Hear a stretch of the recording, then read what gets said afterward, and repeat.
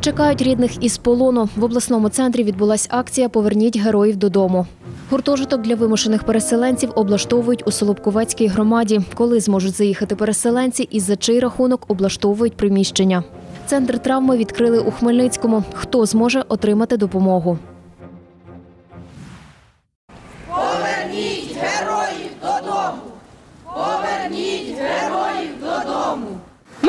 Єдине місто в Україні, яке починаючи з серпня місяця взагалі виходить на акцію і щотижневу цю п'ятничну акцію проводить. Ми її проводимо, щоб нагадати людям, що ми є.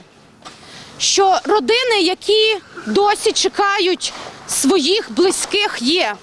Що вони кожної хвилини, кожної секунди чекають дзвінка або слідкують за новинами, коли відбудеться черговий обмін. Волонтерка Леся Стебло розповідає, чому щоп'ятниці разом з іншими хмельничанами від 19 серпня минулого року виходить на акцію Поверніть героїв додому. Так каже, вони підтримують українців, які перебувають у російському полоні, і наближають їх повернення до родин. Дочекалася на визволення сина пані Катерина з Летичева. На акцію розповіла, прийшла підтримати тих, хто досі в очікуванні.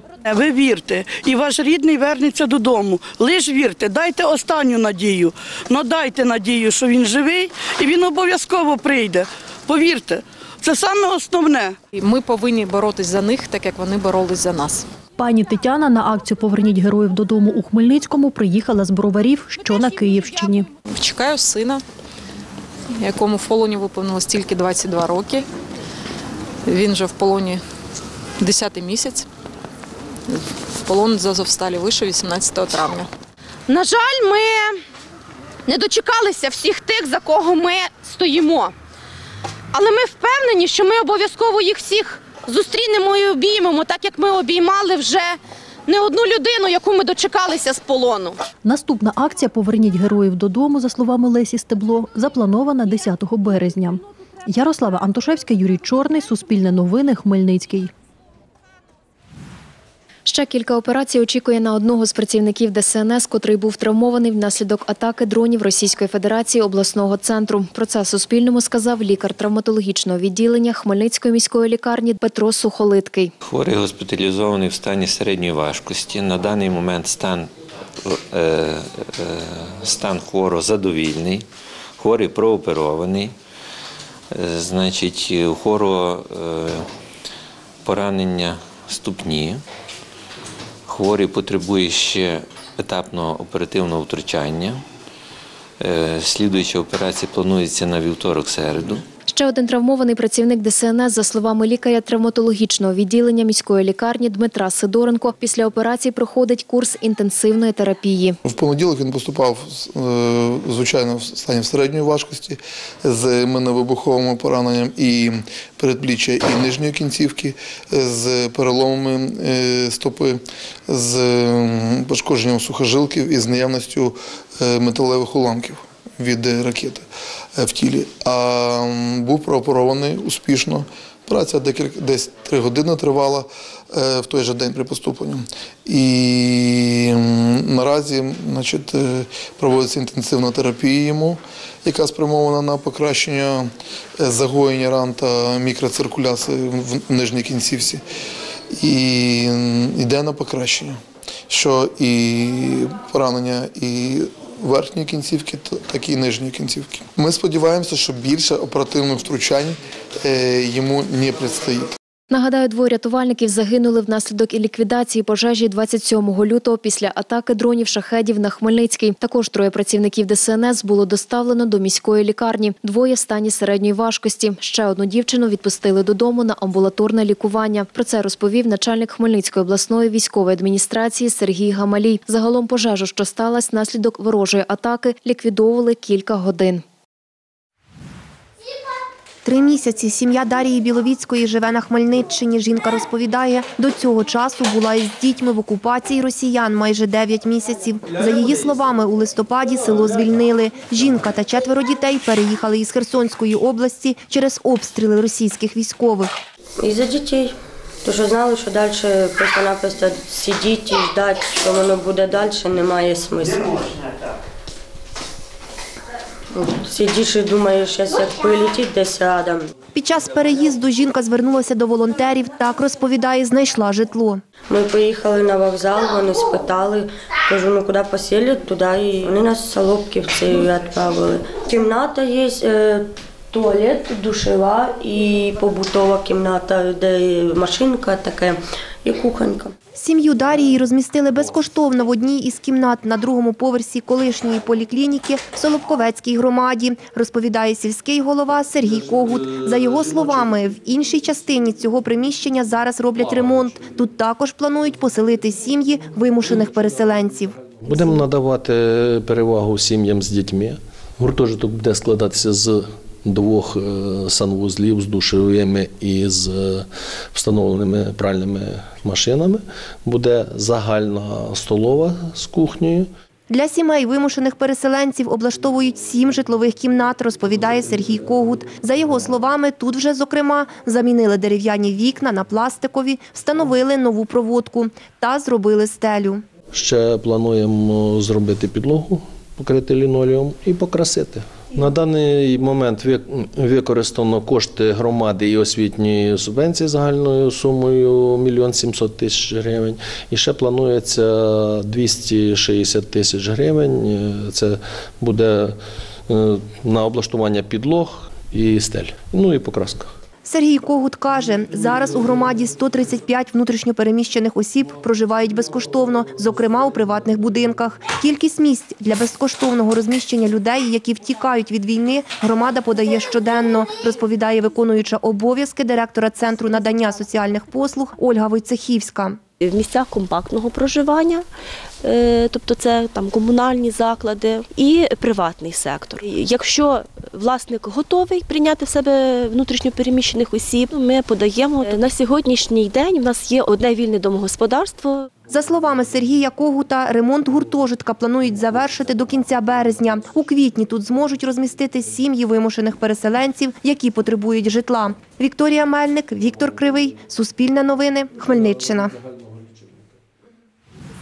У центрі травми при Хмельницькому благодійному фонді Хеседбешт працюють вісім психологів, які навчалися і стажувалися в Ізраїлі та Сполучених Штатах Америки, розповідає керівниця центру Олена Косіюк. За її словами, центр вже деякий час працює та офіційно його відкривають зараз. Переселенка з Миколаєва Анна каже, прийшла в центр стати учасницею гри Мої переможні кроки. Я б хотіла розібратися в собі, зрозуміти себе, свої почуття, емоції.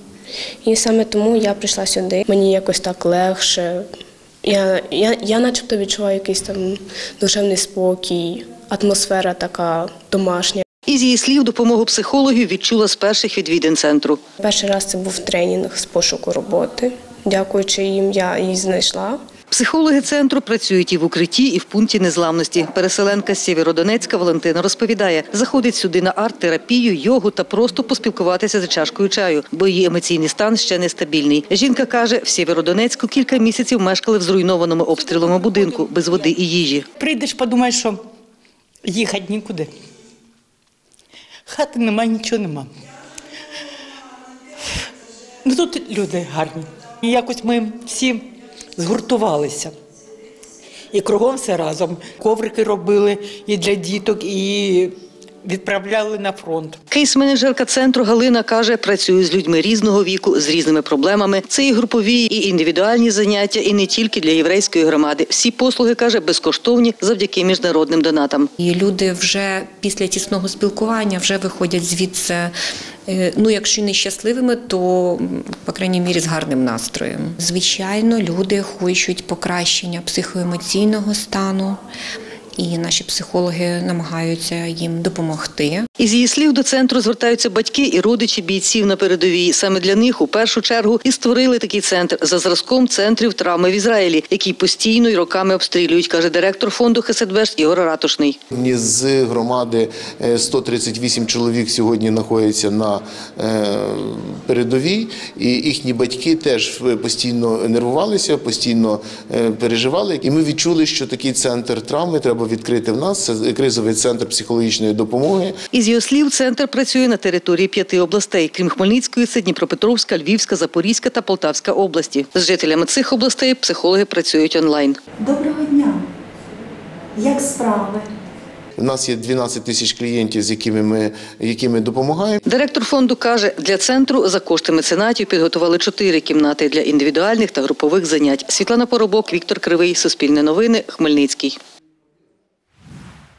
У третій день весни у залі Хмельницької обласної бібліотеки для юнацтва представили колекцію сортових фіалок хмельничанок Ольги Канюки та Наталії Петрович. Квіткарки кажуть, виставка це можливість не тільки показати свою колекцію, але й додати позитиву у період війни. Незважаючи на важкий час для нашої країни, ми вирішили зробити виставку сортових фіалок, подарувати позитивні емоції, гарний настрій жителям та гостям нашого міста. Ми сьогодні вирішили зробити маленьке свято. Хочеться подарувати трохи радості людям. Людей е, цікавлять гарні фіалки. Кожен вибирає те, що більше йому до душі.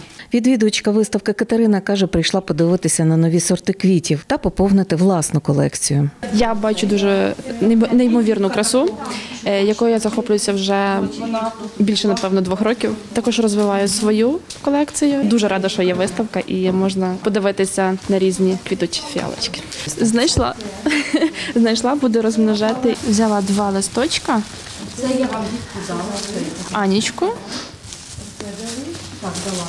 І оптімару взяла. Руслана Зволочиська каже, дізналася про виставку із соціальних мереж. Приїхала за пістрявими фіалками. Ну, з інтернету в Фейсбуці прочитала.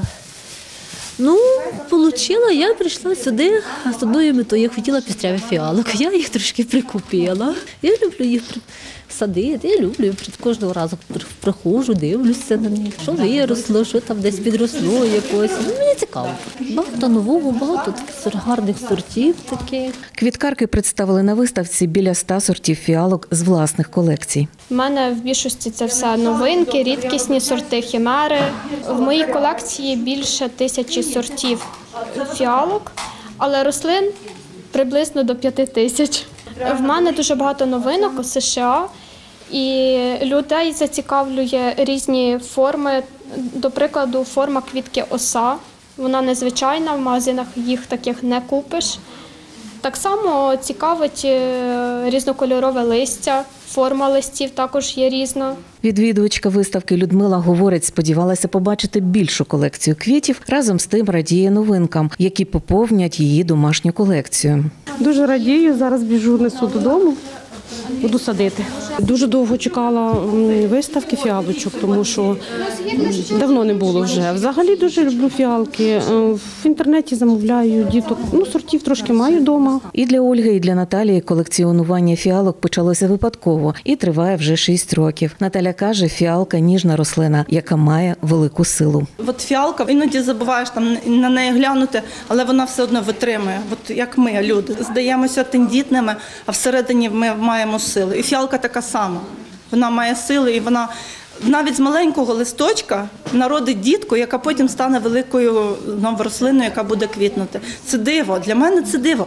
На виставці колекціонерки також давали поради відвідувачам щодо видів вирощування та догляду за фіалками. Наталія Паляниця, Олександр Горішевський, Суспільне новини, Хмельницький.